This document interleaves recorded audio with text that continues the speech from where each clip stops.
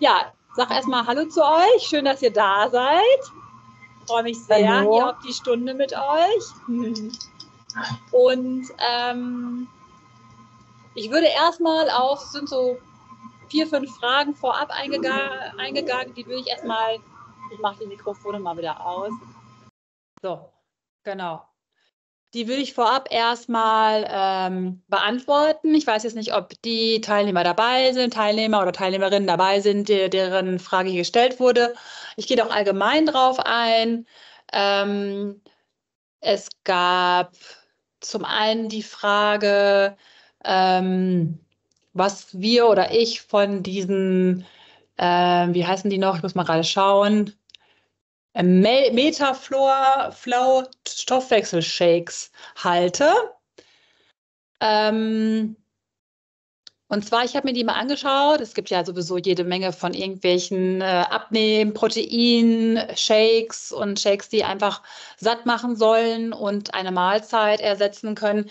Diese Metaflow Shakes habe ich mir angeschaut. Die sind okay. Die enthalten in der süßen Version halt auch äh, Süßungsmittel, zum Beispiel äh, Sucralose, was halt schon ja, ein Süßstoff ist, ein synthetisch hergestellter Süßstoff ist und eher so hm, mitteloptimal ist. Ähm, es halt enthält Aromen, die meistens auch synthetisch hergestellt werden, aber letztendlich ist es in Ordnung, wenn es jetzt nicht unbedingt täglich oder zweimal täglich als ähm, Mahlzeitersatz dient, sondern da ich plädiere tatsächlich immer für was Lebendiges, für eine wirkliche, für eine wirkliche Mahlzeit, für was frisch zubereitetes. Aber ja, manchmal muss es schnell gehen und dann ist auch so ein Shake mal in Ordnung.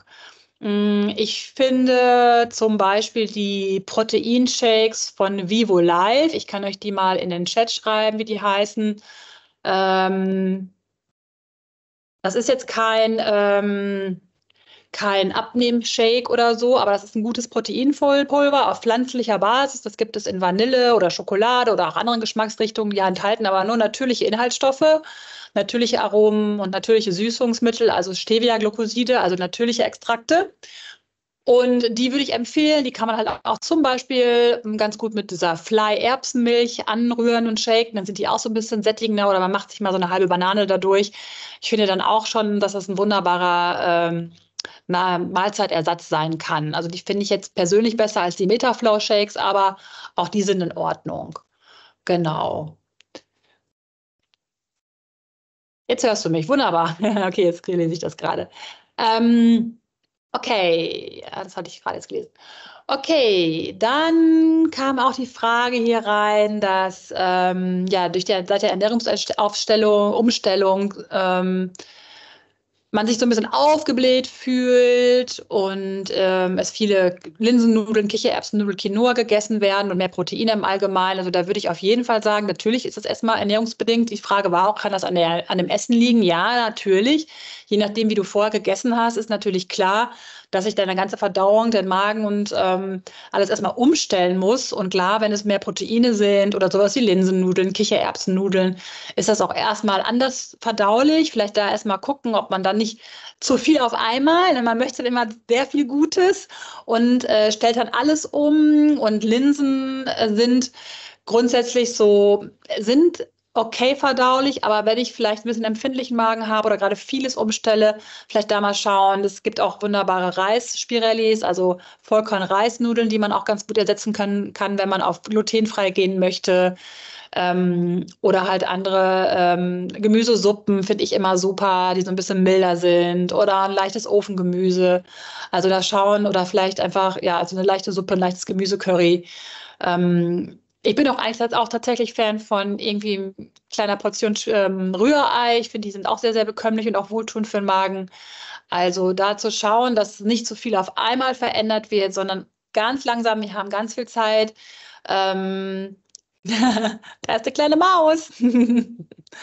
ähm, ganz viel Zeit.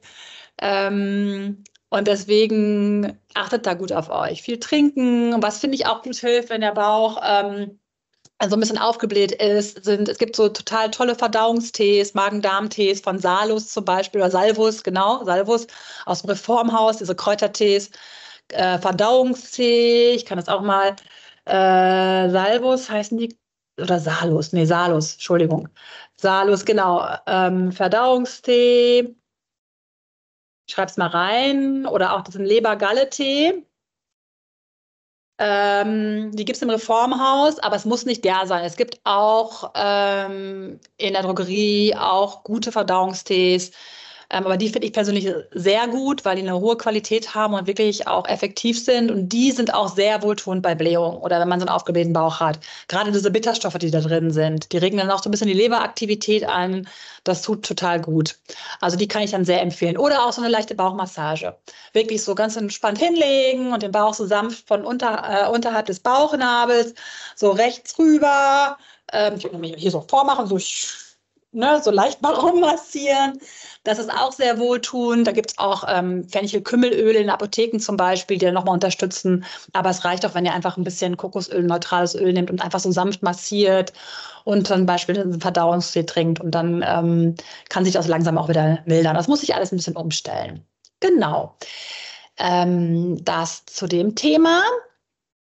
Und dann kam auch die Frage, ob Tiefkühlkost in Ordnung ist, weil hier eine Teilnehmerin ist, die einen sehr, sehr stressigen Alltag hat, äh, in der Führungsposition und wenig Zeit hat. Und ähm, klar, Tiefkühlkost oder Tiefkühlgerichte, gerade wenn es halt Gemüsegerichte sind, es gibt ja mittlerweile auch wirklich gute, kann man ja auch sagen, von Froster zum Beispiel, die sehr, sehr wenig Zusatzstoffe beinhalten, also dann relativ naturbelastend sind. Die kann ich sehr, sehr gut empfehlen. Also da gibt es viele verschiedene Gerichte mittlerweile. Da gibt es auch was mit Hähnchen oder Garnelen. Die sind auch alles, eigentlich fast alle ziemlich gut. Also da könnt ihr gerne mal schauen. Da ist sicherlich was dabei und äh, das ist auch völlig in Ordnung, weil Tiefkühlkost auch tatsächlich noch viele Nährstoffe enthält. Ähm, wenn ich mich jetzt nur davon ernähren wollen würde, würde ich sagen, hm, ich weiß nicht, weil jetzt mal rein energetisch betrachtet hat ähm, hat Tiefkühlkost natürlich auch mal diese Kälte in sich, wenn man es mal so ein bisschen ähm, auch aus der TCM, aus der traditionellen chinesischen Medizin sieht, was ich auch immer gerne so alles ein bisschen mit einbeziehe, ähm, hätte ich persönlich so das Gefühl, wenn ich mich jetzt nur von Tiefkühlkost ernähre, so ah, auch im Winter, ähm, es ist schon ein Unterschied, ob ich mir wirklich einen Gemüseeintopf koche und der so richtig erhitzt ist und der spendet mir natürlich auch Wärme und Energie. Ne? Also ähm, wenn natürlich keine Zeit da ist, ist es gut, auf Tiefkühlkost zurückzugreifen, besser als auf irgendeinen anderen Fastfood, eine Pizza oder irgendwas in der Mittagspause oder einfach immer nur belegte Brötchen. Ähm, aber auch da gucken, da kam ja jetzt wirklich auch diese Frage, es ist ein stressiger Alltag, ich habe keine Zeit, ich habe nur zehn Minuten Zeit zum Essen. Ähm, aber das ist natürlich eigentlich auch das, wenn ich auch, selbst wenn ich in diesen zehn Minuten versuche, mich so gut gesund wie möglich zu essen, das wenn das drumherum halt nie stimmt und ich nie Ruhe habe für eine entspannte Mahlzeit.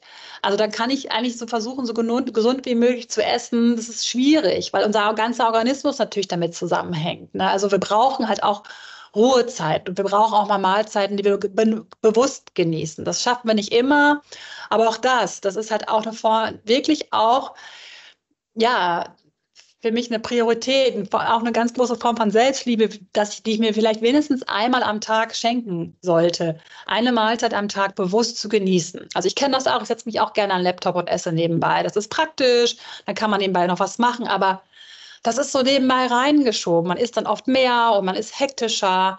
Und ähm, vielleicht könnt ihr das mal so als eine, ja, Vorsatz, eine Übung, so eine Mahlzeit am Tag wirklich bewusst genießen. Ohne Handy, ohne Zeitung, ohne irgendwas dabei. Und wenn es dann auch nur diese 10 Minuten sind oder 15 Minuten, das ist ein ganz anderes Erlebnis und das nimmt dein Körper auch ganz, ganz anders auf. Also das ist echt eine Herzensempfehlung von mir. Da so ein bisschen ähm, ich weiß, dass es nicht immer umsetzbar ist, aber auch das ist super wichtig, dass wir allgemein uns auch Ruheanker suchen im Alltag ähm, und nicht immer nur durch den Tag rennen. Dann hilft uns auch, natürlich unterstützt uns da die gute Ernährung, aber das alleine reicht dann halt auch nicht. Das ist immer was ganzheitliches, unsere Gesundheit und der ganze Prozess. Ich bin erleichtert, tiefgefrorenes, ja. ah, okay, der Beitrag kam von dir mittags Gemüse gefroren machen und zwar die Woche vorgeschnittene Salate, Spat geschnittenes, okay. Gut, wenn dir Salate jetzt reichen als äh, im Winter, äh, wie gesagt, ich bin auch echt Fan davon, mal so ein Gemüseeintopf oder Curry zu kochen abends, wenn mal da die Zeit ist, bisschen größere Portionen, dass auch mal was Warmes. Salat ist schön und gut, aber es ist nicht immer Best Case. Ne? Also da auch achten, ähm, dass ihr auch genug Nährstoffe zu euch nimmt. Ne? Genug auch Energie in Form von äh, Kalorien, dass es nicht zu wenig ist. Man will ja immer gerne, wenn man gerade Gewicht reduzieren möchte, so wenig wie möglich. Aber da muss auch genug Energie zugefügt werden, damit der Körper auch wieder gerne was abgibt.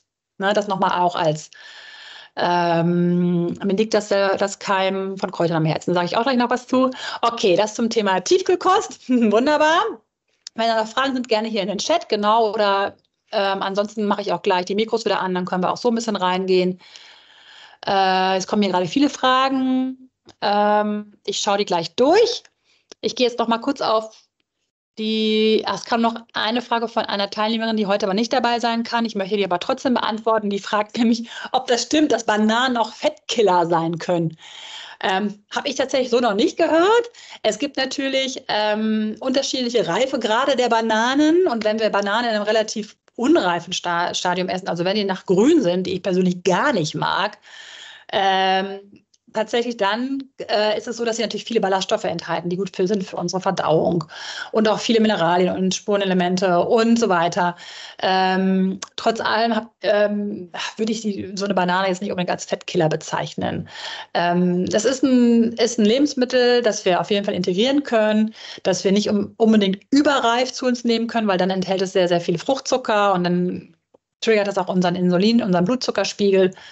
Aber äh, Bananen könnt ihr gerne genießen, aber ich würde die tatsächlich nicht unbedingt als den Fettkiller bezeichnen.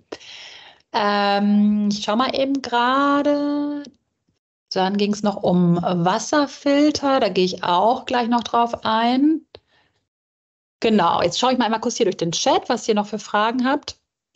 Mm, genau, ich mag Salat mit Fisch und Geflügel. Das ist auch wunderbar. Das hast du doch geschrieben, Silke. Ich komme hier auch mit, genau. Ja, mit Froster und so. Also die Produkte kann ich wirklich empfehlen. Und wenn ihr das vielleicht sogar noch ein bisschen kombiniert, ähm, mit anderen, mit wirklich nochmal ein bisschen frischem Fisch oder Geflügel oder Salat dazu, genau. Ähm, das selber ziehen oder Keimen von Kräutern. Ähm, genau, ich glaube, du hattest die auch gestellt, die Frage, Beate, in, ins Forum, ne? Mit, dem, mit der Kresse. Also Kresse, ich muss gestehen, Kresse ähm, habe ich tatsächlich auch noch nicht selber gezogen in einem Glas. Es gibt ja diese Teller, auf denen man Kresse ziehen kann. Ähm, da muss ich sagen, Kresse kaufe ich mir tatsächlich gerne fertig, aber andere Dinge keime ich gerne. Also es gibt ja so Keimgläser. Also bei Kresse kann ich dir, bin ich leider kein Profi. Da kann ich dir nicht den Tipp geben, wie du es besonders gut machst. Ähm, da würde ich jetzt auch tatsächlich im, im äh, Internet recherchieren und dir da den passenden Artikel schicken. Ich kann das gerne nochmal tun. Aber ich finde das ein bisschen, ich habe es mal versucht und ich fand das so ein bisschen frustrierend, weil es nicht so geklappt hat, wie ich mir das vorgestellt habe. Da habe ich mir gedacht, ey, dann kaufe ich halt die fertige Kresse. Mein Gott, die ist ja nicht teuer und die ist auch gut. Im Bioladen würde ich es kaufen dann braucht ihr euch diesen Stress von Kresse ähm, selber keimen nicht machen. Aber probiert es gerne aus. Ich habe auch eine Freundin, die macht das regelmäßig irgendwie selber, aber der sehe ich immer irgendwie frische Kresse in der Küche stehen. Ich bin Fan von diesen, ach, das habe ich gerade nicht hier stehen bei mir. Ich habe ja so, kann ich euch mal von Eschenfelder, ich schreibe den Namen einfach nur mal rein. Ich jetzt Eschenfelder. Ähm, dass, äh, wenn man da mal schaut im Netz, da gibt es, die haben ganz wundervolle Keimgläser. Ähm, so, die sehen auch schön aus, die hat man gerne in der, in der Küche stehen. Und ähm, da keime ich halt gerne alles Mögliche. Mungbohnen, also Mungbohnen, diese grünen, dann äh, Brokkoli, äh, Saaten, Alfalfa. Es gibt ja auch in Reformhäusern und Biomärkten so Sprossenmixe. Oder auch Buchweizen finde ich super zu, zu keimen da drin. Ähm, also sowas keime ich dann, Saaten keime ich gerne, weil das unkompliziert ist. Und mit diesem Glas, dann kann man die zweimal am Tag oder einmal am Tag mindestens wässern. Und dann hat man nach, je nachdem, zwei, drei, vier Tagen einfach äh, wunderbar frische Sprossen.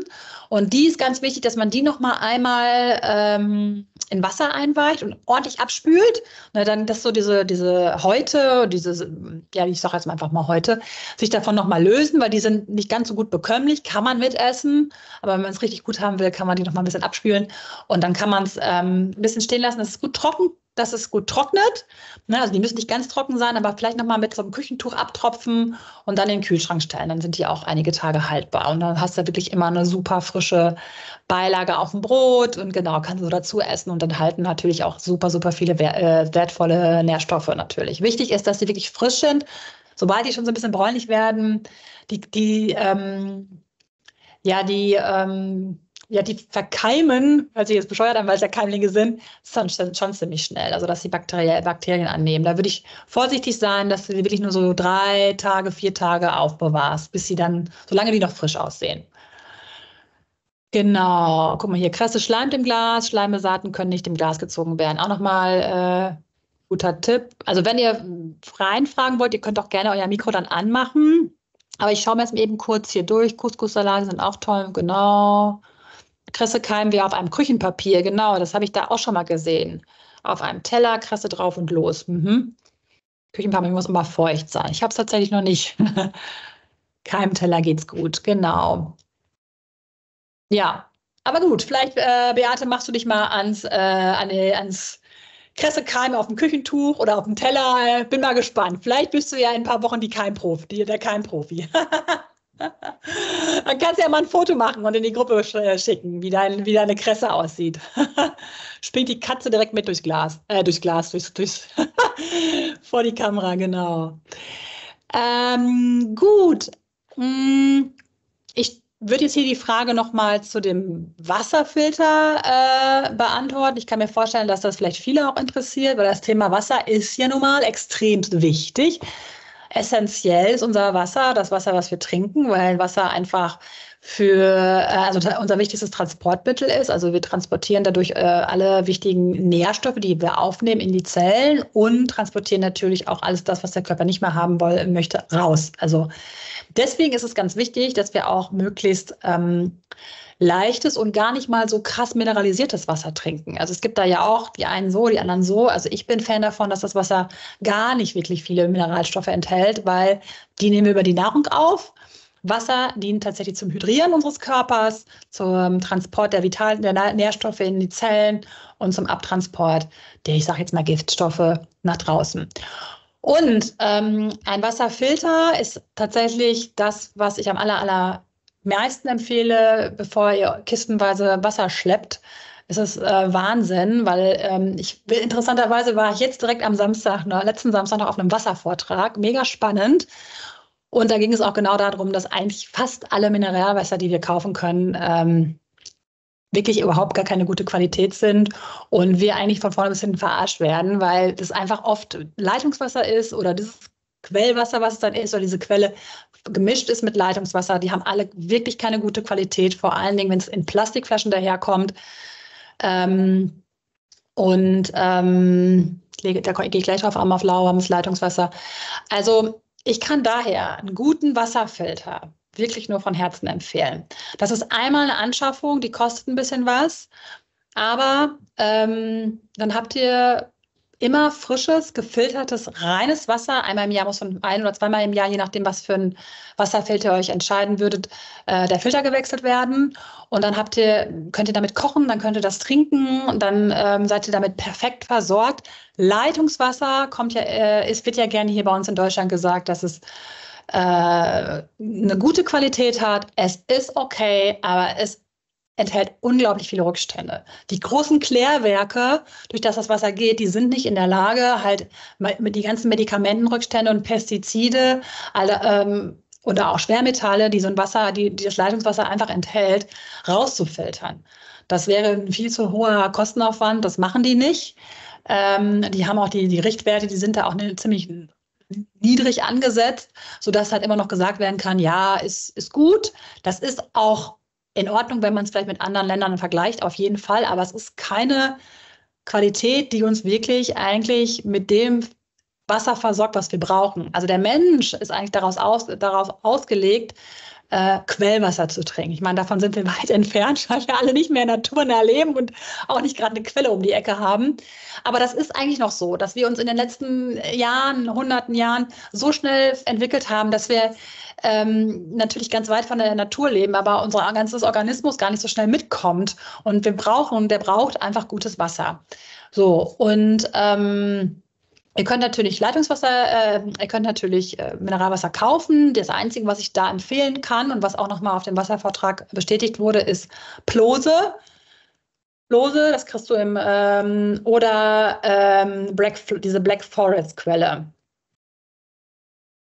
So, das sind Wässer, Wässer oder das sind Mineralwasser, die tatsächlich noch empfehlenswert sind, die eine gute Qualität haben, die man in Glasflaschen kaufen kann. Alles andere kannst du wirklich besser Leitungswasser trinken. Das ist dann nicht, dann ist das Flaschenwasser nicht besser tatsächlich. Gut, beim Leitungswasser ist noch die Frage, wie sind die Leitungen, die Rohre in dem Haus, in dem du gerade lebst, wenn es ein Altbau ist, dann hast du natürlich noch richtig alte Rohre, die eventuell noch Blei beinhalten und so weiter. Ähm, ich bin riesen, riesen Fan von dem True Wasserfilter. Der wird geschrieben T-R-U-U, äh, also T-R-U-U. Ich habe es gerade mal in den Chat geschrieben. Ähm, ich kann auch gerne einen Link schicken. Der ist ähm, einiges teurer auf jeden Fall. Ähm, hat, ist aber so, dass der ähm, extrem, also wirklich alles rausfiltert aus dem Wasser, bis aufs Kleinste, da ist nichts mehr drin. Das gleichzeitig äh, vitalisiert, also wirklich restrukturiert und vitalisiert, dass dieses Wasser Quellwasserqualität hat und dass das auch zellgängig ist. Das heißt, wenn ihr Vitalstoffe zum Beispiel nehmt oder wenn ihr die, das, die Nährstoff der, Nährstoffe aus der Nahrung kann halt wirklich das Wasser auch in die Zellen transportieren. Es hydriert uns, es, gibt, es schenkt uns wirklich auch die Feuchtigkeit, die wir brauchen und es hilft auszuleiten. Dieser Wasserfilter ähm, ist nicht günstig, kann man aber wunderbar finanzieren tatsächlich. Und dann ist es auch ich sag mal, nach fünf Jahren äh, hat man dann, hat man, hat man es raus und dann ist, hat man ein Leben lang, außer dass man einmal im Jahr den Wasserfilter, den Filter wechselt für, ich glaube, 190 Euro, ähm, hat man wirklich ähm, ein Leben lang Spaß damit und ist mit wirklich großartigem Wasser versorgt. Ähm, ansonsten, das ist true. Ansonsten kann ich noch Leogant empfehlen. Das sind die beiden Systeme, die ich kenne. Ähm, es gibt unzählige, ne, deswegen da ist es eine Philosophie für sich. Leogant ist, eine, ist, ist günstiger, das kostet so um die 1000 Euro. Das System, das ist ein Carbonitfilter, ein Kohlefilter, ähm, Aktivkohlefilter, der mit einem Verwirbler, also dass das Wasser wieder auch so eine lebendige Struktur bekommt. Ähm, weil ihr müsst euch vorstellen, Quellwasser geht ja durch alle möglichen Gesteine und so weiter. Dadurch energetisiert sich dieses Wasser, also kann uns auch Energie schenken tatsächlich. Und das Wasser, was wir aus der Leitung ziehen oder in den Flaschen äh, ist, das steht halt. Das ist im Grunde genommen tot, in Anführungsstrichen. Ne? Klar löscht das unseren Durst, aber wenn wir wirklich eine gute Qualität wollen, ähm, würde ich ähm, eine dieser beiden Filter ähm, empfehlen, sind das zwei Herzensempfehlungen. Ähm, genau. Falls ihr euch zum Beispiel für diesen True-Filter entscheiden äh, solltet, meldet euch gerne nochmal bei mir. Ich kann euch da nochmal den Kontakt herstellen. Genau, oder euch nochmal ähm, ein bisschen Näheres dazu erzählen. Gut, hast du eine bestimmte Empfehlung? Können diese Filter Ach so. Ach ja, genau, das ist tatsächlich so, das habe ich gerade schon beantwortet. Dieser, gerade dieser True-Filter ist auf jeden Fall meine Herzensempfehlung. Da kann alles rausfiltern. Also Medikamente, Mikroplastik, Blei, Kalk, ähm, Pestizide, Schwermetalle. Also der ist wirklich ähm, großartig. Und das ist Wasser, wenn ihr das einmal getrunken habt. Hast du denn auch? Ich sehe gerade hier so einen Finger hoch. Ähm, nein, aber ähm, aber dieses Wasser ist ein Traum. Das ist, also wenn, das ist ein Unterschied. Trinkst ein Glas Leitungswasser und trinkst ein Glas von diesem true gefilterten Wasser. Du hast das Gefühl, boah, mein Körper, der will das richtig. und dann ist es auch gar kein Problem mehr, zwei, drei Liter am Tag zu trinken. Das ist es nämlich. Dass wir oft unser Wasser natürlich auch, viele sagen ja auch, ich mag nur Wasser mit Kohlensäure. Das ist aber auch wieder eine Verarsche. Letztendlich, weil Kohlensäure ähm, ähm, blockiert unsere Geschmacksknospen auf der Zunge. So, und deswegen schmeckt uns das Wasser dann, das wir trinken. Das, wir brauchen diese Kohlensäure, damit wir sagen können oder damit wir das Wasser trinken, damit es uns schmeckt. Also ich trinke auch gerne Wasser mal mit Kohlensäure, aber grundsätzlich, um diese, um das zu ähm, erreichen, was wir uns wünschen, also Hydra Hydration und Abtransport, brauchen wir ein stilles, klares, reines Wasser.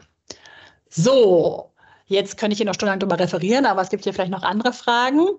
Ähm, welche Menge filtert er in welcher Zeit? Hm, was genau ist damit gemeint? Also wie lange äh, es dauert, einen Liter voll zu machen durch den Filter oder wie lange so ein Filter ähm, Ihr könnt auch gerne euer Mikro anmachen und reinfragen, weil das sind ja jetzt gerade so die Brita haben wir den Brita-Filter, ja, da kann ich auch noch was zu sagen. Also Brita-Wasserfilter hatte ich gar nichts von. Kann man machen, um Kalk rauszufiltern, ähm, aber äh, könnt ihr euer Mikrofon einschalten selber oder muss ich das irgendwie ähm, freigeben, falls ihr reinsprechen wollt? Ich weiß es nicht. Nur mal so als Hinweis. Oder ihr schreibt es in den Chat.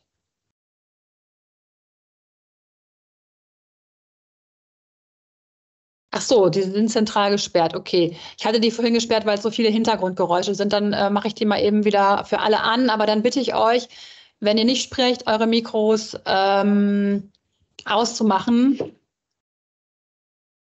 So, jetzt habe ich die eigentlich zugelassen. Ich sehe die zwar teilweise immer noch ausgeschaltet, die sind aber zugelassen.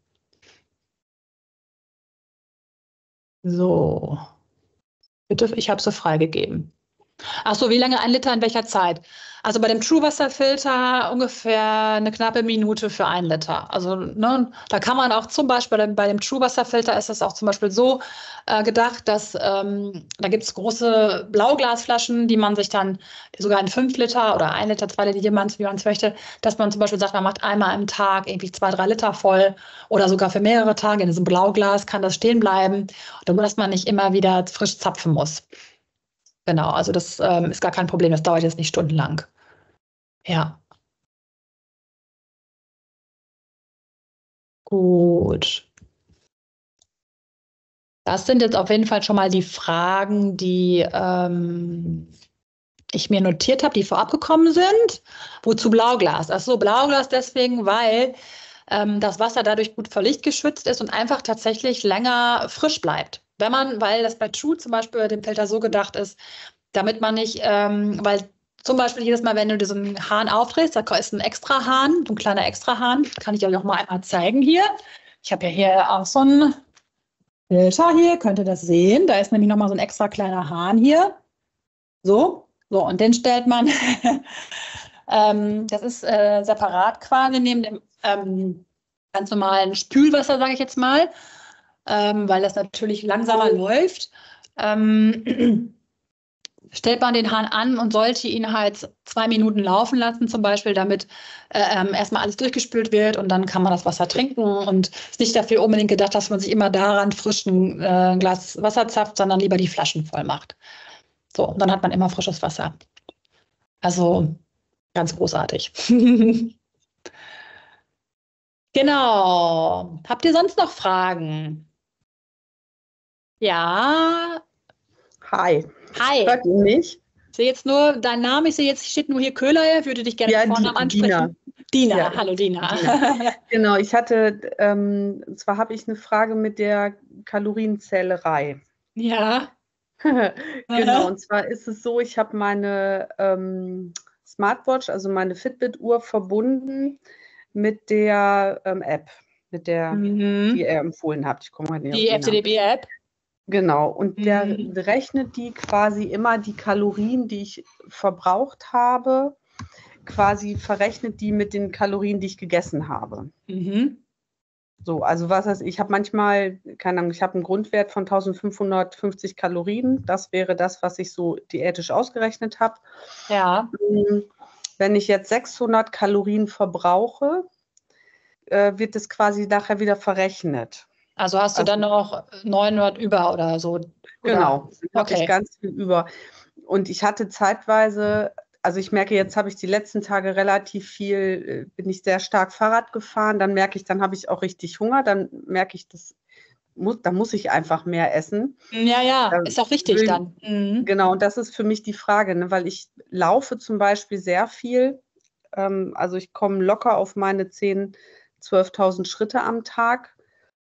Ähm, Und das verrechnet sich natürlich alles. Und ich habe hier ein paar Tage gesessen und hatte abends dann 300, 400, 500 Kalorien oder so zu wenig dann zwischendurch mhm. gegessen mhm. und saß da mhm. vom Teller und habe gedacht, Alter, ich bin echt satt, ich kann nicht mehr. ich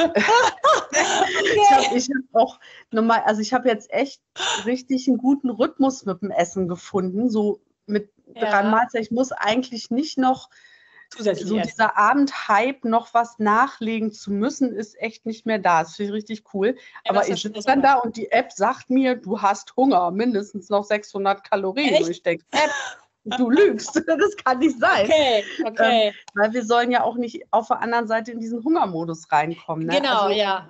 Was mache ich jetzt? Ja, also ich würde jetzt, ähm, jetzt ich antworte jetzt mal so auch intuitiv, weil ich jetzt auch nicht tatsächlich, da ist Tom so der Spezi, was diese ganze Berechnung in FDDB ange angeht. Aber ich hätte jetzt sofort, wenn du dich gut fühlst und keinen Hunger hast, so, dann signalisiert dir das ja ein Körper eigentlich ja auch. Ne? Mhm. Also wenn du, ähm, ich meine, sind deine, sind deine Mahlzeiten denn proteinreich auch? Oder was isst du zum Beispiel dreimal am Tag? Was ist das ungefähr? Morgens zum Frühstück, mittags und abends nur mal so ganz grob. Also ganz grob, ich esse morgens, das hat sich gut eingegruft, entweder einen selbstgekochten veganen Porridge mit ähm, entweder so ein bisschen getrockneten Früchten rein und Mandeln. Ich esse relativ viel Mandeln und Nüsse. Mm, Im Moment esse ich einen Sojajoghurt mit äh, Mandeln, Sesam und Haferflocken. Bisschen Obst dazu. Also Obst jetzt immer zu den Mahlzeiten, zwei Portionen Obst, aber entweder mittags als Nachtisch oder morgens als Frühstück. Mhm. Mittags esse ich kalt auf der Arbeit. Ich bereite mir dann irgendwie Vollkornbrot oder ähm, was weiß ich, Pumpernickel oder irgendwie so ein Zeug vor und mhm. relativ viel Gemüse. So Mörchen oder was. Also viel, was man so wegknabbern kann. Paprika, mhm. Möhren, Kohlrabi, so ein Zeug, mhm. einfach auf der Hand mhm. zum Wegessen und abends kochen wir warm. Und da ist es relativ unterschiedlich, ähm, weil wir ein Sechs-Personen-Haushalt sind und mhm. das ist auch definitiv unrealistisch, dass ich für mich selber koche. Habe ich auch ehrlich gesagt keinen Bock drauf. Aber ich, wie gesagt, ja, ich esse sehr viel ja. ähm, Gemüse. Wir essen sehr viel Vollkorn. Also wenn wir Nudeln essen, überwiegend Vollkorn-Sachen. Ich habe meistens einen Kohlenhydratüberhang. Ja, aber eben auch, weil ich morgens halt dann zum Beispiel selbst einen Soja-Joghurt, der hat nicht diese Menge an Eiweiß, als wenn ich einen normalen Joghurt esse. Aber du kannst, aber mhm. Du kannst ja. aber auch normalen Joghurt essen. Ne? Also vielleicht nicht unbedingt jeden Morgen. Also ich äh, plädiere jetzt gar nicht unbedingt, dass es jetzt alles äh, vegan sein muss. Aber, ne? Also da von dem tatsächlich äh, bin ich so auch so ein bisschen runter. Ähm, und Deswegen, wenn dir das, wenn dir zum Beispiel nach mal einem Quark oder nach einem Joghurt ist, also ich bin eher dann auch, bin dann auch wieder schnell bei dieser energetischen Sache. Mir ist jetzt im Winter zum Beispiel gar nicht nach sowas Kaltem morgens. Also dann bin ich auch eher beim Porridge oder tatsächlich auch ein Rührei aus mhm. zwei, drei Eiern. Ne? Das sind schon mal gute Proteine. Oder du machst, wenn du da ein bisschen auf ähm, Kalorien reduzieren, runter reduzieren möchtest, nimmst du zwei Eiweiß und nur ein äh, Eigelb oder drei Eiweiß, ein Eigelb, dann hast du halt mehr Proteine, hast aber weniger Fette zum Beispiel. Fette sind aber auch wichtig, ne? Mhm. Also ein Rührei-Frühstück kann halt auch sehr, sehr sättigend sein, hat gute Proteine. Ähm, also, aber wenn jetzt, wenn ich jetzt, wenn ich das morgens dieser Porridge natürlich nährt und du jetzt zum Beispiel satt bist bis zum Mittag, hätte ich jetzt eher gesagt, bei dem Mittagessen dürfte es ein bisschen ähm, proteinreicher sein, je nachdem, was du halt abends isst. Es gibt ja auch noch die mhm. Option, vielleicht so ein, wirklich so einen Proteinshake hinzuzufügen. Oder halt abends, also es gibt ja das Vivo Live zum Beispiel, was ich gerade reingegeben habe, finde ich, ist ein gutes Pulver. Zum Beispiel, um halt morgens auch den Porridge zum Beispiel, das mache ich auch gerne mal, ähm, mit so einem Löffel Proteinpulver dann ne, unterzumischen. Dann hast du direkt mehr Proteine drin. Mhm. Und ähm, zum, genau, zum Beispiel. Und abends dann halt vielleicht wirklich eher zu gucken, vielleicht da nochmal die Proteine ähm, eher zu erhöhen und nicht so viele mhm. Kohlenhydrate, dass der Körper eher die mhm. Energie aus den Proteinen nimmt. Ja. Hast du, denn, äh, hast du denn das Gefühl, dass du denn auch Gewicht reduzierst gerade? Bist du damit zufrieden gerade oder hast du das Gefühl, du stagnierst? Also es hat, es kam nicht so richtig ins Rollen, aber ich glaube, ich habe auch ein großes Problem mit Wassereinlagerung. Okay. Also ich hatte, also es ist auch vieles ehrlich angefressen. Ja, ich will jetzt alle nicht schönreden, weil ich hatte vor Weihnachten noch mal eine Cortison-Stoßtherapie und okay. ähm, hm. hatte auch ähm, Sehenscheidenentzündung, habe Rheumamittel genommen, deswegen, also verschrieben gekriegt und ich sah zum Teil im Gesicht morgens schon alleine aus wie so ein halber Pfannkuchen. Und ich glaube, das ist auch ein bisschen ein Problem. Das kommt jetzt aber viel durchs Fahrradfahren weg. Ich esse schon auch Fleisch. Ich esse gern auch Fleisch, mhm. auch Fisch und so. Ne? Das, ähm, mhm. Deshalb hatte ich für mich so gesagt, auch weil es ja auf die Wechseljahre zugeht und da soll Soja gut sein, dass ich mhm. eben morgens diesen Sojajoghurt gegessen habe oder esse. Ich mag es auch gerne, weil ich dieses Zuckerfreie auch gut finde. Und ich habe jetzt eine Sorte gefunden, die zuckerfrei ist mit Obst und wirklich gut schmeckt auch. Ja, cool. Mhm. Ja, und so im Moment habe ich das Gefühl, das hat sich so essensmäßig eingegruft und jetzt bin ich bewegungsmäßig auch sehr gut dabei, dass diese ganzen Gelenkprobleme gerade wirklich ähm, im Prinzip weg sind oder mhm. fast weg sind mit Gymnastik und Fahrradfahren ist gut für die Hüften und bla. Ne? Und ich denke, dass dann, ja. jetzt merke ich, wie es so von der Gewichtsreduktion auch gut ins Rollen kommt. Ah ja, gut. Dauert ja auch erstmal, bis der Stoffwechsel sich umstellt. Und vor allem dieses Cortison mhm. macht ja auch erstmal was im Körper. Ne? Und wenn du sagst, Wassereinlagen, das muss auch erstmal raus. Ne? Da braucht der Körper erstmal ein bisschen Zeit. Ähm, aber beobachte das nochmal mit dieser, diesem Kaloriendefizit, äh, was du jetzt mhm. denkst. Ne? Ähm, und schreib sonst gerne mir oder Tom dann nochmal irgendwie in ein, zwei Wochen, je nachdem, ob es immer noch so ist und du hast auch das Gefühl hast, also wenn da so eine Stagnation ist, schreib mir ger mhm. gerne nochmal können wir da nochmal vielleicht auch in so einem QA oder so drauf eingehen oder in der Sprechstunde.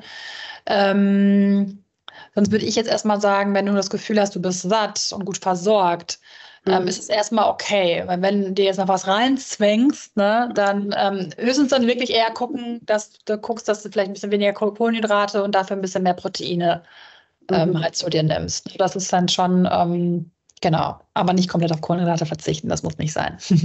nee, das äh, wäre ich auch zu faul zu. Nee, schmeckt ja auch zu lecker. Soll ja noch okay, Spaß machen, ne? Ja, sehr ja. gerne. Ja. Guti, ich mache mal mein Mikro wieder auf. Ja, super. So, noch jemand mit einer Frage hier.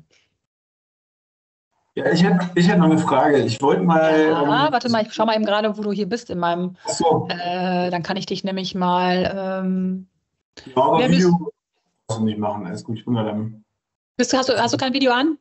Nee, nee, habe ich sowieso. Ach so, alles klar, okay, dann ja. gut, musst du ja auch gar nicht. Aber dann ja, genau. äh, sch schieß los.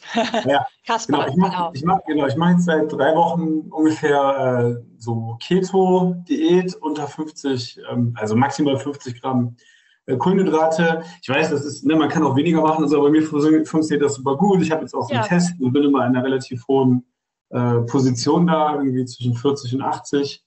Mhm. Und ähm, genau. Und jetzt äh, habe ich irgendwie gedacht, so nach drei Wochen auch keine Süßigkeiten essen. Und so habe ich mal gesehen, es gibt auch so alle möglichen Rezepte für Keto-Süßigkeiten. Mhm. Da habe ich mich jetzt mit verschiedenen Zuckern auseinandergesetzt und bin mir aber auch nicht so sicher. Also dann habe ich gesehen, Erythrit soll mhm. irgendwie ganz okay sein, aber da gibt es auch irgendwie kritische Studien zu. Also ich weiß nicht, wie, wie du das siehst. Das würde mich einfach mal interessieren, weil ja. ähm, ja, ich hatte gedacht, einfach mal, um das auch auszuprobieren, mal irgendwas herzustellen und mir das mal. Mhm. Aber ich habe sonst noch nie, also ich nehme sonst gar keine Süßstoffe und ich achte, das war auch schon davor so, also ich esse eigentlich keine Sachen, wo Aspartam drin ist oder sowas. Weil ich ja, das ist schon mal sehr gut. ja, also so grundsätzlich. Deshalb bin ich jetzt auch so ein bisschen gehemmt, überhaupt das zu machen. Aber mhm. ich dachte, ach, vielleicht einfach, ja. Warum nicht, ne? Einfach, Kann ja mal. Ja, ich habe jetzt auch nicht heiß immer auf Süßes, aber irgendwie fand ich das lustig und dachte, da kann ich doch ja. mal experimentieren. Ja, okay. genau. Das ja, wäre meine Frage. Okay, wie deine Meinung dazu ist. Ja. Bitte? Ich habe letzte Meine Frage, wie deine Meinung dazu ist. Zu, zu genau. Ja, ähm, also letztendlich finde ich Erythrit ähm, auf jeden Fall eine gute Alternative. Du isst das ja nicht in Mengen. Wenn du jetzt so diese Ketosüßigkeiten herstellst, dann kommt da ja jetzt auch nicht Unmengen von rein. Erythrit kann halt, genau wie Xylit, aber Xylit, Xylit ist ist ja beides sind das ja so Zuckeralkohole, die das sind quasi durch diesen Fermentation, durch so einen Fermentationsprozess während der Zuckerherstellung mhm. entstehen diese Zuckeralkohole ähm, und haben quasi äh, gerade das Erythrit halt überhaupt keine Kalorien und belasten den Blutzuckerspiegel halt auch nicht. Das ist natürlich ähm, sehr vorteilhaft, können aber etwas abführend wirken, aber eigentlich auch nur, wenn's, wenn man viel davon isst. So. Ähm, daher finde ich, und du isst ja jetzt nicht, wie gesagt, große Mengen davon, finde ich Erythrit echt eine gute Alternative, die du auf jeden Fall nehmen kannst, gerade für diese Keto-Süßigkeiten, weil das einfach dann äh, passt einfach in diese Keto-Diät. Ne? Ja. Ähm, also daher äh, probier das gerne mal aus. Ähm, Ja, also das ist ja auch, glaube ich, so mit der Einz mit den mit Mixolit, glaube ich, noch diese einzelnen einzigen Zuckeralternativen, die da erlaubt sind äh, Richtung Keto, ja. ähm, kannst du das auf ja. jeden Fall ausprobieren. Ja. Das ist, das ist ähm, völlig in Ordnung sollte ja auch nicht schaden. Ich bin jetzt auch gar nicht so, so der, ich esse jetzt gar, so, sonst auch gar nicht so, so süßes. So ist ja auch schon mal gut, wenn also, gleich der Süßhieber so da ist, ne? Genau, aber ich habe irgendwie gedacht, ach, wäre auch schön mal wieder einfach was Süßes zu essen. Und dann habe ich überlegt, was das sein soll, ne? Und dann habe ich ein bisschen ja. recherchiert. Ja, okay. Ja, gut, super. Okay. Das war meine Frage, sonst habe ich eigentlich. Ja, gerne. Okay. Schön. Ja. Cool. Gerne. so, noch jemand? Unterhalten, warte mal im Chat. Kleiner Tick meines Wortes auch. Ah, okay. Mhm. So, 15 Minuten haben wir noch, ihr Lieben. ihr dürft gerne noch was fragen. Oder in den Chat schreiben, wenn ihr nicht fragen möchtet.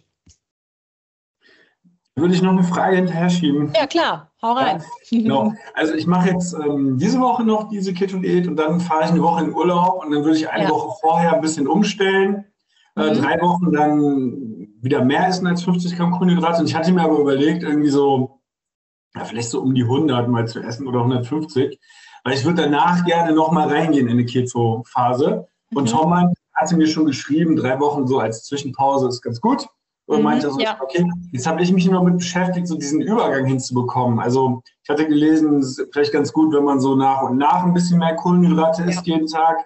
Also ich mhm. weiß nicht genau, ich habe früher schon mal gefastet, so da ist das für den Körper ja schon krass, wenn man so vom Wasserfasten zum Beispiel wieder auf Essen geht. Und ich mhm. weiß jetzt aber nicht, wie das ist mit der Ketose und dann der um, die Umstellung auf den Stoffwechsel. Das mhm. würde mich mal interessieren, was da so, worauf ich da so achten muss, einfach für diese drei Wochen. Ja, also ich würde tatsächlich ähm, auch das langsam umstellen, dass du nicht jetzt äh, in den Urlaub fährst und, weiß ich nicht, samstags fliegst du oder fährst du und freitags machst du noch Keto und samstags haust du dir eine Pizza rein, so ungefähr, ne? Und, ja, und isst irgendwie auch noch eine Pommes oder irgendwie sowas.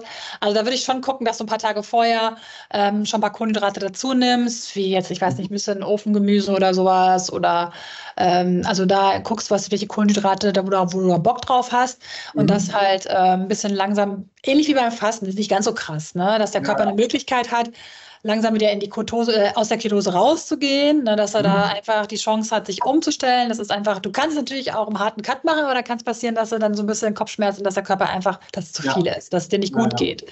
Weil das ist ja auch, äh, ist ja auch, wenn du anders, wenn du, wenn es andersrum geht von der normalen Ernährung, sag ich jetzt mal, in die Ketose, ist es ja auch ganz oft, dass du auch, mhm. dass man auch erst dann wieder diese, diese Ketose-Grippe oder wie man, wie man das noch nennt, dass man irgendwie auch so ein bisschen Fieber hat, Kopfschmerzen hat, wenn der Körper dann in die Ketose geht. Ne? Ja, ja. Ähm, genau, deswegen ist es äh, ähnlich, dass du da schaust, dass du halt auch ähm, das langsam machst, dass du dir vielleicht zwei, drei Tage Zeit nimmst, auf jeden Fall oder ein bisschen länger da langsam umzustellen und dann natürlich auch, je nachdem, was du für einen Urlaub machst und so, dann vielleicht auch, wenn du nachher wieder in die Ketose willst, dass du guckst, dass du es natürlich auch nicht übertreibst. Ne? Ja, ja, ja. Genau. Aber genau, das will ich auf jeden Fall machen. Ja, ja, super. Also im Prinzip ja. so ein bisschen wie der Einstieg dann ja, auch, ne? da habe ich das genau. auch so genau. langsam reduziert und dann irgendwie ja, genau. nur 100, 150 und dann irgendwann oder so 150, ja, okay. Okay, super. Ja, sehr gut. Ja, dann viel Erfolg und ganz schönen Urlaub wünsche ich dir dann schon mal. ja. Okay, jetzt kommen hier noch Fragen. Intervallfasten, wie ist es mit Intervallfasten? Also Intervallfasten ist natürlich eine super Möglichkeit, dem, dem vor allen Dingen unserer Verdauung und unserem Organismus mal Ruhe zu schenken. Ähm, es ist tatsächlich aber auch so ein bisschen ein Unterschied, ob Mann oder Frau, weil der weibliche Körper einfach einen ganz anderen äh, Rhythmus hat, einen ganz anderen Hormonhaushalt natürlich hat. Und zum Beispiel das ganze Intervallfasten, die ganzen Studien werden, werden oftmals, einmal ganz kurz die Mikrofone aus, wenn ihr nicht sprecht, das wäre super. Machen wir gerade hier, sonst mache ich sie wieder aus. sonst haben wir nämlich, okay, super, danke.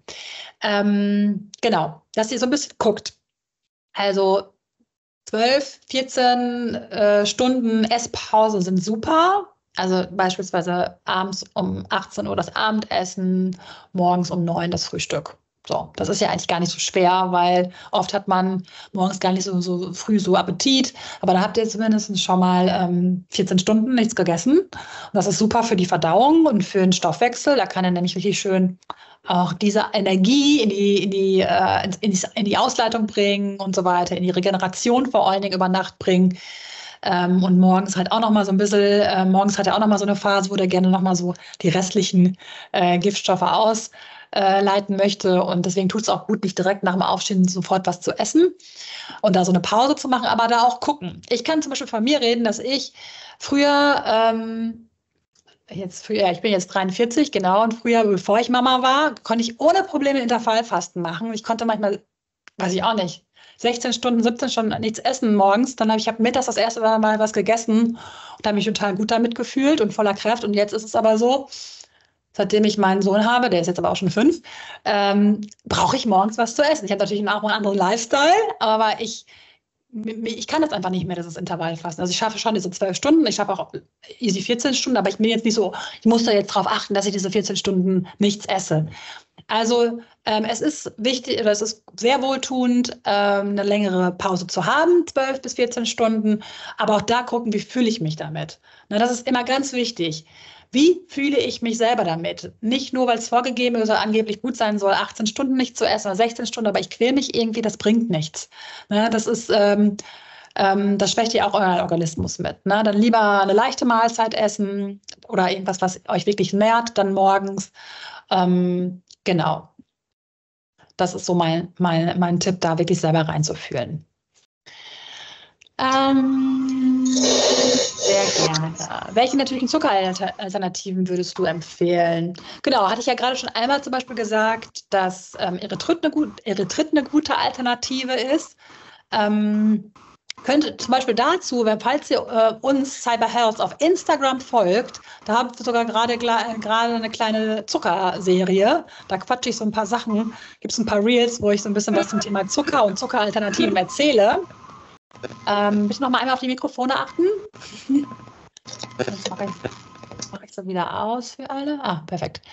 Ähm, genau, also meine ähm, Lieblingsalternative, ähm, also ist tatsächlich, ähm, ich nehme gerne Honig. Also jetzt zum Backen ist natürlich so, wenn ihr jetzt was zum Backen haben wollt. Ich finde, da kann man auch gut Erythrit tatsächlich nehmen.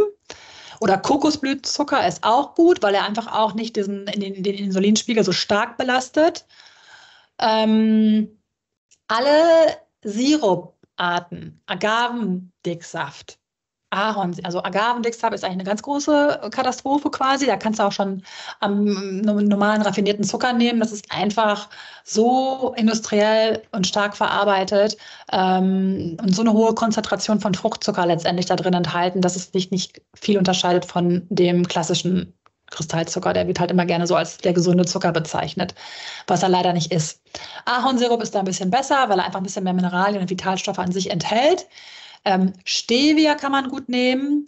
Natürliche Stevia-Extrakte äh, aus dem Biomarkt oder Reformhaus oder das ist vermahlene Blattpulver, aber das ist von der Süße her mag ich das nicht so gerne. Ähm, was wirklich richtig gut ist, eine sehr, sehr gute Zuckeralternative ist, aber auch leider recht teuer ist, ist Jakon-Sirup. Ähm, ich habe das mal, das ist, kennt man kaum. Jakon-Sirup. Der ist aber tatsächlich, wird aus dieser Jakon-Knolle quasi gewonnen und enthält wirklich tatsächlich sogar auch äh, Präbiotika, sogar noch äh, fördernd für unsere Darmflora und Ballaststoffe und ähm, wirklich Mineralien und Vitalstoffe und belastet unseren, unseren, unseren Insulinspiegel auch nicht. Ist allerdings ziemlich teuer. Also ich glaube, da kostet so ein 500 Gramm Glas, das ist, kommt wie so ein Sirup auch ein bisschen daher, wie so ein Honigglas, 20 Euro oder so. Also das ist wirklich ja. Aber das ist wirklich ein Zucker, der ähm, auch tatsächlich sehr lecker ist, der karamellig schmeckt, den man sich vielleicht einmal gönnen kann. Ne? Wenn man sich vielleicht irgendwie sagt, ich mach, möchte da einen Löffel durch meinen Quark machen oder so. Ähm, genau, das ist schon so ein bisschen so ein Luxuszucker. Ansonsten finde ich, wenn man Richtung, ich möchte meinen Insulinspiegel nicht belasten geht, finde ich Erythrit halt einfach gut, aber da gucken, dass es nicht zu viel wird, weil das auch wieder abführen wirken kann. Oder Kokosblütenzucker finde ich ganz gut. Dattelsirup ist auch okay, ist auch wieder so ein Sirup. Ähm, Stevia habe ich schon gesagt. Ähm, genau, das wären so meine liebsten Alternativen. Aber schaut mal bei Cyber Health bei Instagram, da habe ich noch ein bisschen was drauf gequatscht dazu. Ähm, sonst kann ich die Videos auch mal in die Gruppe stellen. Wir wollen es nur nicht zu viel überladen, die ganze Gruppe. Da sind ja schon so viele Infos drin. Äh, bei mir wurde gestern Laktoseintoleranz festgestellt. Im Groben weiß ich Bescheid, habe mich aber noch nicht intensiv damit beschäftigt. Hat das Einfluss auf das Abnehmen? Nö, das hat keinen Einfluss auf das Abnehmen. Nee, also Laktoseintoleranz ähm, haben ja eigentlich viele. Haben wir von Natur aus eigentlich auch irgendwann, dass wir gar nicht dieses, diese, ähm, diesen Milchzucker so gut vertragen können. Ähm, deswegen ist es immer gut, dass wir nicht zu viele Milchprodukte essen, weil es einfach für unseren erwachsenen Darm gar nicht so gut verdaulich ist. Wenn wir jetzt aber tatsächlich eine Intoleranz haben, macht es natürlich Sinn, da wirklich erstmal zumindest eine Zeit lang komplett drauf zu verzichten. Ich würde auch nicht diese, es gibt ja so Tabletten, die man dann nehmen kann, dass man es besser vertragen kann. Die würde ich dann halt wirklich nur nehmen, wenn ähm, ich echt eine starke Intoleranz habe und Bauchschmerzen wirklich stark bekomme, wenn ich nur ein bisschen Laktose zu mir nehme und ich irgendwie essen gehe oder irgendwas und ich weiß, ist da jetzt Laktose drin, dann gibt es ja diese Tabletten, ähm, die man nehmen kann, damit einfach diese Reaktion nicht so entsteht. Dann ist es natürlich auf jeden Fall gut. Ansonsten hat das gar keinen Einfluss auf das Abnehmen, weil ich dann einfach ähm, auf die Milchprodukte ähm, verzichten würde, die ja sowieso nicht so wunderbar für unseren Organismus sind. Und ich ja sowieso immer empfehle, die stark zu reduzieren. Die müssen nicht weggelassen werden. Also Sahne ist, glaube ich, auch so eine Sache bei Laktoseintoleranz. Ich bin mir jetzt nicht so sicher, 100 Prozent, aber äh, ist sogar ähm, Sahne, diese ganzen fetten Produkte, so wie Sahne, Schmand oder auch Butter, ähm, sind, find, sind sehr zu empfehlen. So, die sind natürlich fett, aber davon dann immer so ein bisschen. Das ist in Ordnung. Hm. Und ansonsten allgemein ja sowieso immer Joghurt, Quark und so nicht zu viel zu essen, ne? weil es einfach auch gerne verschleimt und für den Darm halt auch so ein Mittel ist.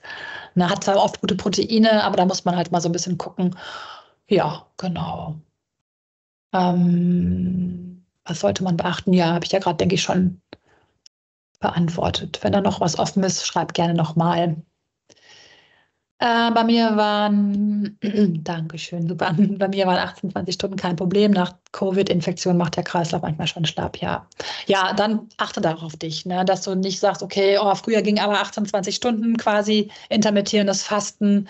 Ähm, da braucht dein Körper einfach gerade einfach noch mehr Energie. Ne? Also dann gib ihm auch was zu essen und versuch das nicht durchzuhalten, weil dann kommt dein Körper auch wieder in so eine Mangel. Ne? Und dann ist genau dieses, dieser Teufelskreis, ne? Dann, dann, dann geht er in diese, in diese Starre nenne ich das jetzt mal, weil er merkt, okay, ich kriege hier nichts, aber eigentlich will ich doch so gerne und dann gebe ich schon mal gar nicht irgendwas ab.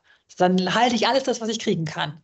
Deswegen ähm, wirklich, das ist wirklich so so meine Herzensempfehlung, hört auf euch so, spürt rein. So, man hat ja oft diesen Kontakt zu sich verloren, weil eigentlich gibt unser Körper uns schon die richtigen Signale. Und wenn wir Hunger haben, klar, wenn wir morgens aufstehen und einen Bären Hunger haben und wir haben aber eigentlich um 22 Uhr das letzte gegessen und wir stehen um sieben auf und wollen schon wieder viel essen, dann ist es schon so ein bisschen, man könnte man sich fragen, okay, was ist da los? Dann sollte man vielleicht erstmal was trinken. Oft ist es auch Durst, der Körper möchte trinken und will eigentlich Wasser und wir verstehen das als Hunger. Also da, deswegen ist ja meine Empfehlung, morgens erstmal trinken. Es muss kein Zitronenwasser sein, es reicht auch einfach Wasser. Ähm, dass erstmal der Körper schön durchspült wird und dann nochmal hinfühlen. Genau. Und auf jeden Fall essen, wenn unser Körper das signalisiert, ne, wenn wir dann gesunden Kontakt wieder haben. Äh, wenn ich faste, darf ich dann morgens wohl am schnell Wasser trinken stehen. Also. Ja, ähm, haben wir gerade wieder ein bisschen Hintergrundgeräusch. Jetzt ist es aus, sehr gut. ähm, ja, das ist zwar auch letztendlich, wenn man äh, dieses intermittierende Fasten macht, möchte man in dem Moment ja seinen Darm halt auch die Ruhe schenken, aber die Flohsamenschalen pflegen den Darm ja auch letztendlich, ne? also reinigen ihn, unterstützen die Reinigung. Also das ist auf jeden Fall in Ordnung, morgens so ein Glas Wasser mit Flohsamenschalen zu trinken. Ähm, ja, auf jeden Fall. Das ist in Ordnung. Ich mache das Mikro mal an. Ich habe meine ja. Hand schon ganz lange gehoben und möchte auch noch eine Frage stellen. Ja, natürlich. Ja, ich hatte das auch gesehen. Ich hatte nur äh, die anderen Fragen erstmal. Deswegen wunderbar, dass du jetzt hier einfach reinrufst, Kerstin. Nein, ich habe ganz einfach mal jetzt mein Mikro wieder angemacht, äh, weil die Zeit ist ja gleich um. Ja, äh, hätte da noch eine Punkt Frage zu dem äh, Säurebasenhaushalt statt Zitronenwasser. Bin ich ja äh, als ähm, euer Vertrauter auch mit diesen Shots sehr äh, konform und äh, nehmen also früh manchmal dann lieber vorher äh, so einen orangen Ingwer-Shot. Ist das auch gut, um den Säurebasenhaushalt mhm. äh, damit anzukurbeln, ehe man dann zum Frühstück geht? Ja, klar, auf jeden Fall. Gerade Ingwer und äh, Kurkuma-Shot oder Ingwer-Shot, das kurbelt ja gerade Ingwer, kurbelt ordentlich äh, den, den, den Stoffwechsel und die Verdauung an. Also auch auf jeden Fall gut. Ich würde nur trotzdem äh, ein Glas Wasser vorher trinken. Ne? Ich, okay. Nicht als allererstes, ähm, weil das ist letztendlich ist dieser Shot auch wieder wie so ein Nahrungsmittel, kannst du sagen. Äh, ähm, natürlich in flüssiger Form. Und erstmal möchte dein Körper morgens eigentlich erstmal Wasser. So, ich mache das immer gerne warm, lauwarm. Ne? Okay. Einfach lau, es muss auch kein Zitronenwasser sein. Das ist gut. Hier kommt gleich noch, noch eine Frage, die beantworte ich jetzt auch gleich. Ähm, aber ähm, eigentlich ist einfach ein Glas lauwarmes Wasser, ein großes Glas, erstmal ähm, das Beste, was du deinem Körper morgens schenken kannst. Dann freut er sich. Ich habe trotzdem noch eine Frage zu deinen ja. Vorräten zum Zucker. Mhm. Äh, stellt ihr wieder den tollen Podcast äh, mit der Doktorin äh, ein zum Thema Zucker in eurem äh, diesjährigen Kurs?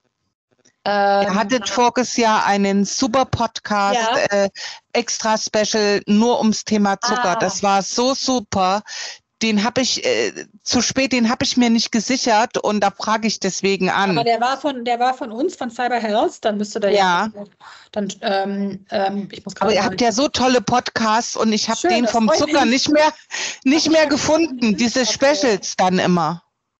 Okay, ähm, das notiere ich mir direkt mal. Ähm, ich habe den jetzt auch gerade nicht auf dem Schirm. Diesen, ähm das war mit einer Ärztin und die hat da zum Zucker, also ganz ja. hervorragend.